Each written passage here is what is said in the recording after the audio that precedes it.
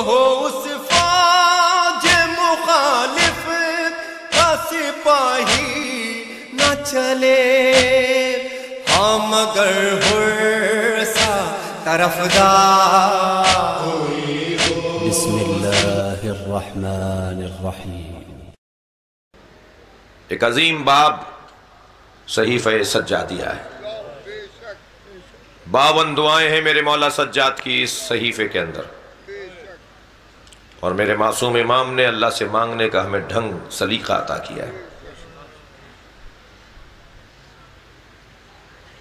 تین کام امام نے اپنی زندگی میں اپنائے، تین طریقے زندگی گزارنے کے۔ امام کی زندگی کے تین انداز۔ یا اپنے گھروں میں، اپنے گھر میں۔ غلاموں اور کنیزوں کی صورت میں لوگوں کو خرید کر انہیں قرآن کی تفسیر پڑھا اور سکھا کر نبی کی حدیثوں کا حافظ بنا کر بہانے بہانے پر آزاد کر کے ایک مکمل مبلغ روانہ کر دیتے تھے۔ حدیث پر پابندی تھی۔ سن لیجیے ذرا دو چار منٹ۔ امام کی سیرت کی یہ تین پہلو۔ بر محمد محمد صلوات اللہم صلی علی امام کی زندگی میں، امام کا جو دور ہے، اس دور میں حدیث پر پابندی تھی۔ عمر ابن عبدالعزیز، بڑے، بڑا نام ہے مسلمانوں کی تاریخ میں، اسلام کی تاریخ میں۔ ان کے زمانے تک حدیث بیان کرنے پر کوڑے لگتے تھے۔ آج حدیث کے نام پہ تنظیمیں بنانا آسان ہے۔ مگر کوئی دیکھے کہ حدیث پر پابندی کس نے لگائی تھی اور پانچ سو حدیثیں جلائی کس نے تھی؟ میں اس بحث میں نہیں چاہوں گا، صرف تاریخ کا ایک صفحہ پلٹ کر جا رہا ہوں۔ نبی کی پانچ سو حدیثیں جلائی گئیں اور یہ کہہ کر جلائی گئیں کہ ان حدیثوں سے فساد ہوگا۔ ہمیں صرف قرآن کافی ہے، ہمیں کافی قرآن کافی ہے۔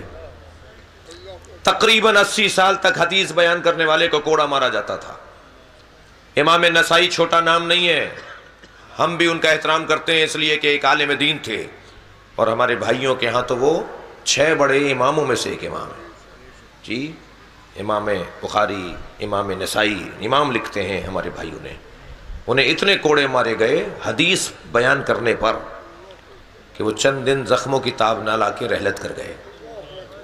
حدیث پر پابندی تھی۔ کوئی حدیث بیان نہیں کر سکتا تھا، کوئی حدیث کسی مجمع میں جا کر نبی کی، نبی کے قول کو نقل نہیں کر سکتا تھا۔ قرآن کافی ہے، یہ ایک تحریک چلی تھی اور اس تحریک کے پیچھے حکومت کی مشینری کار فرما تھی۔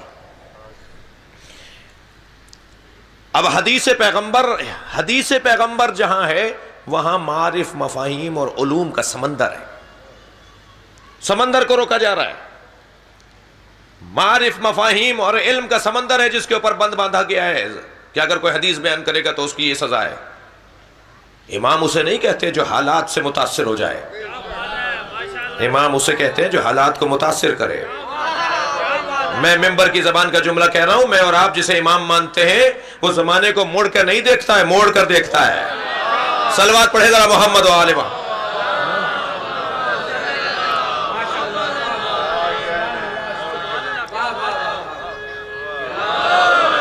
علی جیسا بساتے دہر پا گوہر نہیں دیکھا۔ کئی صدیاں ہوئی پر ایسا قداور نہیں دیکھا۔ وہ واحد شخص ہے جس نے کہ اپنی عمر بھر ظاہر زمانہ موڑ کر دیکھا کبھی موڑ کر واہ نہیں دیکھا۔ واہ واہ سلوات پڑھیں گے ذرا محمد و عالمہ واہ بھائی واہ۔ آباد آباد نقو صاحب۔ جزاک اللہ۔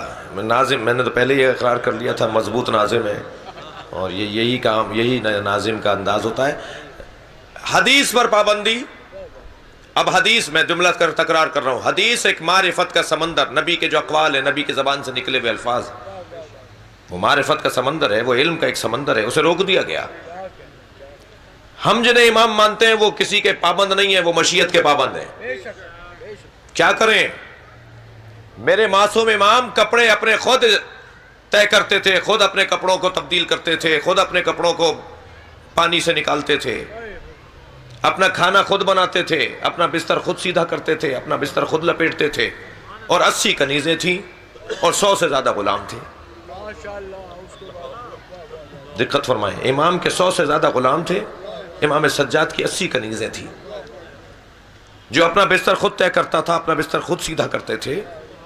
پانی مانگنے کے لیے صرف اپنی کنیز کو یا اپنے غلام کو آواز دیتے تھے، اس لیے کہ حکم ہے کہ پانی کے لیے آپ اپنے والدین کو بھی کہہ سکتے۔ ہیں جی اتنا عجر ہے پانی پلانے کا۔ کہ آپ والدین کو کہیے تاکہ یہ عجر اور یہ ثواب والدین کو بھی ملے۔ واحد کام ہے جو ماں باپ کو کہا جا سکتا ہے۔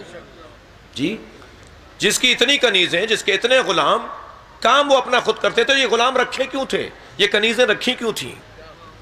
مقصد یہی تھا کہ غلام اور کنیز خریدتے تھے، انہیں نبی کی حدیثوں کا حافظ بناتے تھے اور پھر ایک پانی پلا دینے پر آزاد کر دیتے تھے۔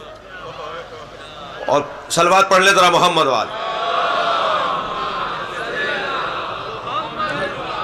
اب یہ کنیز آزاد ہو کر نہیں جا رہی ہوتی تھی، یہ غلام آزاد ہو کر نہیں جا رہا ہوتا تھا، بلکہ یہ مبلغ دین بن کے جا رہا ہوتا تھا۔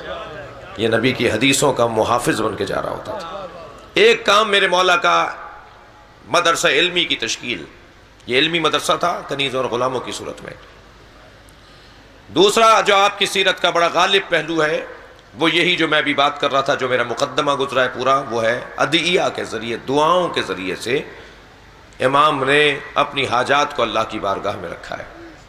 معرفت الہی کا سامان، اللہ کی معرفت کا سامان۔ اور تیسرا مشغلہ امام کا ذکر کربلا۔ مسلسل مجالس، مسلسل فرش ازا کوئی دن نہیں ہوتا تھا جب امام کے گھر میں مجلس نہ ہوتی ہو۔ سن اکسٹھ ہجری سے پچانوے ہجری تک جوڑیے، کتنے سال ہوئے؟ پینتیس سال۔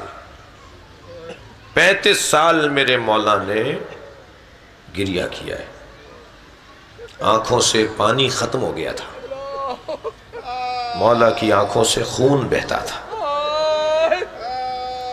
جب کبھی پانی آتا تھا تو پانی کو دیکھ کر امام سجاد روتے تھے۔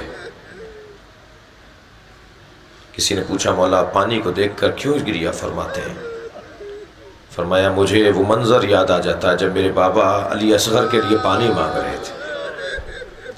سب سے زیادہ امام سجاد کو اپنے بابا حسین کے پیاس کی تکلیف تھی۔ جب کسی نے پوچھا، نا مولا، آپ کو کچھ منظر، کیا منظر یاد ہے؟ فرماتے ہیں، میں اس منظر کو نہیں بھلاتا کہ جب میرے بابا سوکھے ہونٹوں کے ساتھ مارا گیا۔ اجرکم اللہ اجرکم اللہ۔ تھکیں گے نہیں اگر رونا آ رہا ہو تو۔ آپ کی آوازیں بلند ہو رہی ہیں؟ مجلس میں جب بیٹھیں تو پرسہ دینا حق ہے، اس مجلس کا حصہ ہے اور اہم ترین حصہ ہے۔ میں سوال کر رہا ہوں، رونے والوں سے، عزاداروں سے، کربلا میں سب سے زیادہ پیاسا کون تھا؟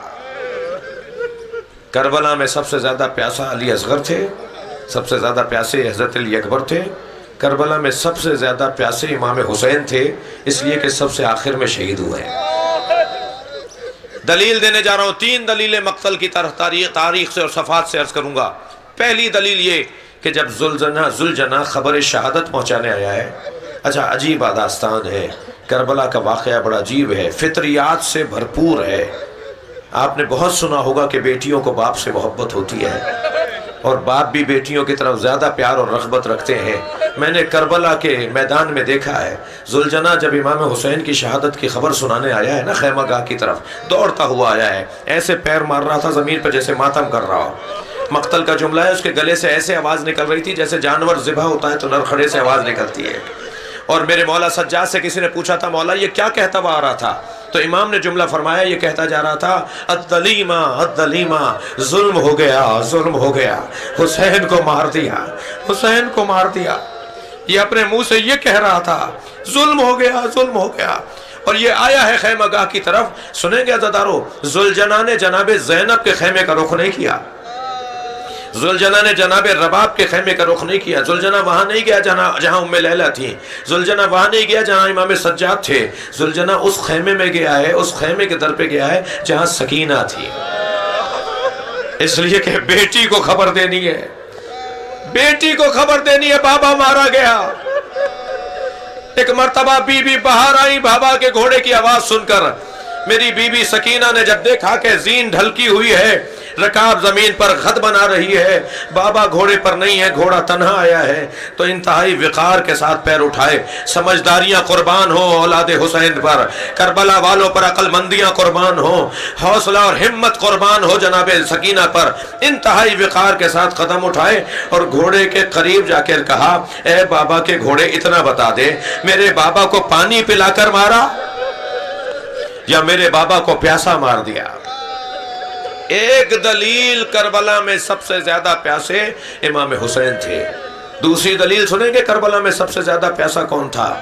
کربلا میں سب سے زیادہ پیاسا امام حسین تھے۔ اس کی دلیل یہ ہے کہ امام سجاد نے انگوشت شہادت سے قبر انگوشت شہادت سے قبر پر یہ نہیں لکھا حاضر قبر الحسین اللذی قتلو مظلومہ یہ اس کی قبر ہے جسے مظلوم مارا۔ یہ اس کی قبر ہے جسے غریب مارا، یہ اس کی قبر ہے جسے گھیر کے مارا، یہ اس کی قبر ہے جسے جسے بھوکا مارا۔ امام نے کیا لکھا؟ الذی قتلو اتشانا، یہ اس کی قبر ہے جسے پیاسا مارا۔ کربلا میں سب سے زیادہ پیاسے امام حسین ہیں۔ پانی کو دیکھتے ہیں تو امام سجاد روتے ہیں۔ کھانا سامنے آ جاتا ہے تو امام زین العابدین روتے ہیں۔ پوچھنے والے اس گھر کا جواب دیا، جب میں کھانا دیکھتا ہوں تو مجھے کملائے ہوئے چہرے یاد آ جاتے ہیں۔ کربلا کے میدان میں بھوک بھی تھی اور پیاس بھی تھی۔ لیکن آپ دیکھیے، نقن صاحب کا بڑا عجیب جملہ فرماتے ہیں، پانی مانگنا مرام انسانیت کے خلاف نہیں ہے۔ کسی سے بھی پانی مانگا جا سکتا ہے۔ اس لیے بچے الاتش تو کہتے تھے، مگر روٹی مانگنا مرام انسانیت کے خلاف ہے۔ ان بھوکے بچوں نے کبھی نہیں کہا کہ ہمیں بھوک لگ رہی ہے۔ اگر کبھی کوفے میں کسی نے صدقے کی کھچوریں بھی دی تو جناب زینب کی آواز آئی صدقہ تو علینا حرام۔ صدقہ ہم پر حرام ہے۔ تو جس بچے نے خجور کا دانا اٹھا لیا تھا اس نے اس ظرف میں واپس رکھ دیا جو بی بی لائی تھی خجوریں بانٹنے کے لیے۔ صدقے کی خجوریں دینے کے لیے جو عورت آئی تھی اس بچے نے وہ صدقے کا دانا رکھ دیا۔ تو وہ عورت آگے بڑھ کے بی بی زینب کے قریب آئی کہنے لگی بی بی, بی بی صدقہ تو اہل بیت پہ حرام ہے۔ آپ کون ہیں؟ میری بی بی نے فرمایا تو اہل بیت کو پہچانتی ہے؟ کون ہے اہل بیت کا فرد اس وقت دنیا میں؟ کہا حسین ابن علی ہے کہا وہ لوگ کے نیزہ پہ میرے بھائی کا سر ہے۔ وہ حسین کا کٹا ہوا سر ہے اور یہ زینب تیرے سامنے کھڑی ہے۔ اجر کمل اللہ۔ کبھی میرے مولا سجاد اجر کمل اللہ تھکیں گے نہیں اگر رونا آ رہا ہے، اپنی آوازوں کو آزاد رکھیں گے۔ ابھی آپ امام سجاد کی آپ بیٹھ جائیے۔ امام سجاد کے تابوت کی زیارت کریں گے نا ابھی عزاداروں تو خیال رہے خیال رہے، یہ اس کا تابوت ہے جس کا بدن زخمی بہت ہے۔